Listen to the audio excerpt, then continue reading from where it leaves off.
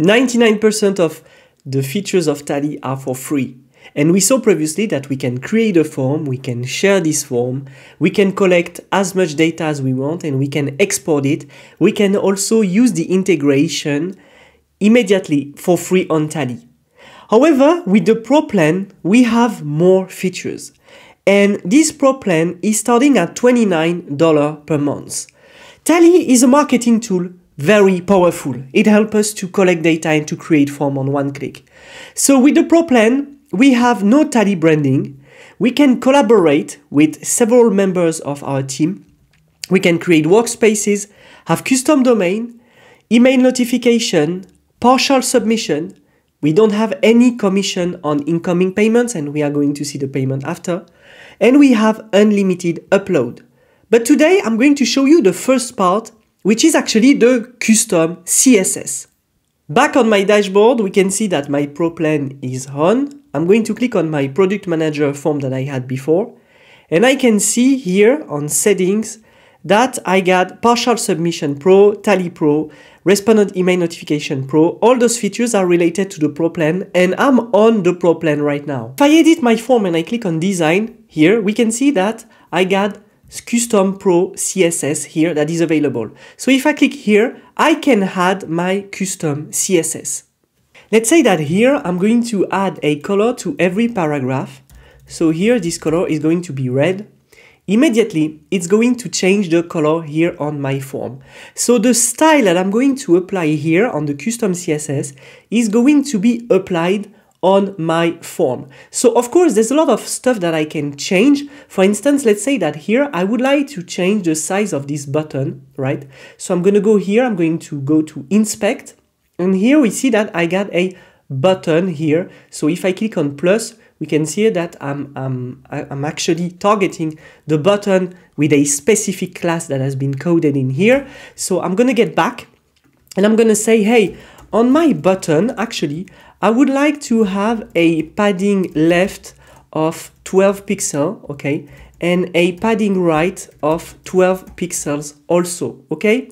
So if I'm doing this and I'm getting back, we don't see any change here. So I'm going to try to put probably more to see if it is because of the updating that I don't get the change, but we see it doesn't work. So basically what I can do here, it's exactly like in every CSS sheet.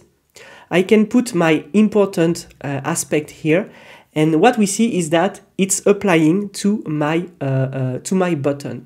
Now I can do the same on padding top. Let's say that on padding top I would like to have 18 pixel important and here we can see that I got this.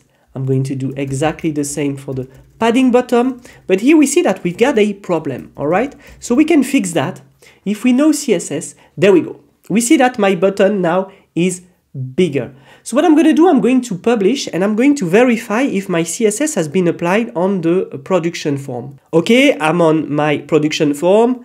I got my text in red and I got my button down here that has some padding on the left and on the right.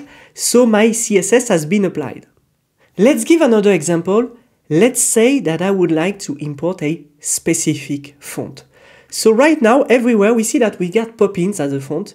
But let's say that I would like to mix two different fonts. When I go on Google Font, I can select any font that I want and I can import them. So let's say that I'm going to, going to take Geologica, okay? So I got Geologica, which is very nice. I'm going just to add this um, font that we got in here. And down here, we got we see that we got this import here. So I'm going to try to copy paste this import uh, uh, um, uh, link that we've got in here. So I'm going to say, hey, I want to import Geologica. And let's, co let's come back and let's just uh, check here, the Geologica one. And I'm going to try to put all my titles in Geologica. So here we see that the paragraph, it's the title. So for now, I'm just going to try to do this. And as we see here, it changed the font coming directly from Google. All right. So I can mix font, of course, inside my tally form. If I'm using the custom CSS here, I can import my font directly from uh, Google Fonts. So everything we can do in CSS can be done in here. Sometimes you just have to add uh, uh, an important uh, key here to say, hey, actually override what is already written. But basically everything you can do in CSS and everything you can learn, you can add it in here into your form. If you already know CSS, it's useless for me to show you how to write CSS inside Tally. However, what I want to show you, it's all the classes that you can target if you want to really customize your form. So let's look a little bit at the code provided by Tally. And here we see that we've got, for instance, this Tally form cover. All right. So probably you want to target the cover to do something, an effect or whatever. You can target the Tally form cover. And you get the Tally form log here, which will probably um, target the logo. If I go inside uh, the form itself, and if I scroll down, we already saw the tally block form title that we can target. And after we got, for instance, this tally colon list, all right? So probably if you have several elements, you would like to target by the specific classes that are created here. So here we see that we've got several columns, tally columns that we can also target.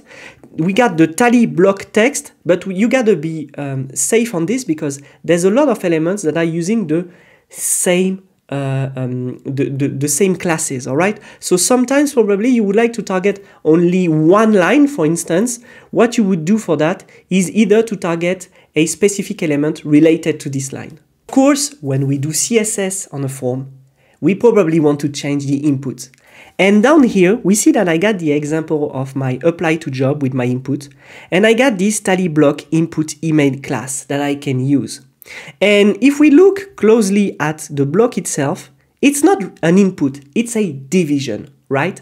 And inside this division, we see here that we've got my, um, actually the placeholder that I got here. But if I want to target this tally block input, probably I would target here immediately, okay, immediately, the, uh, the div that is coming just after the actions, right? So I would target through the ID. So let's just um, update the page and let's come back to this element and let's see if we got exactly the same ID because probably what you worry about is that we have dynamic IDs that are generated in here. And as we see here, we got exactly the same as the previous one. So you could target this element by using this. So let's say that, for example, you would like to have a border of one pixel solid red by default. As you see, you can do exactly the same here if you go to design here, exactly down there, and you can target it in here. So let's try together. I'm going to expand a little bit the screen. There we go. And I'm going to target the second one, which is here. So I'm going to go here. And we see that I got a class, and this class is this one. So I'm going to put here a point, and I'm going to say, hey, for this one, I would like to have a border of one pixel solid yellow. And what's happening in here is that I succeed to target the input that I wanted. There's a lot of things that you can target inside your tally form, and to help you, the Tally team put classes everywhere that you can target and that you can also apply CSS through the custom CSS module down there. Of course, this is a quick demonstration of what you can do with custom CSS. It would really depend on what form you are building and what you want to do. But basically, to overwrite the CSS of Tally, you would use important. Otherwise, it, the style would be applied by default to your form.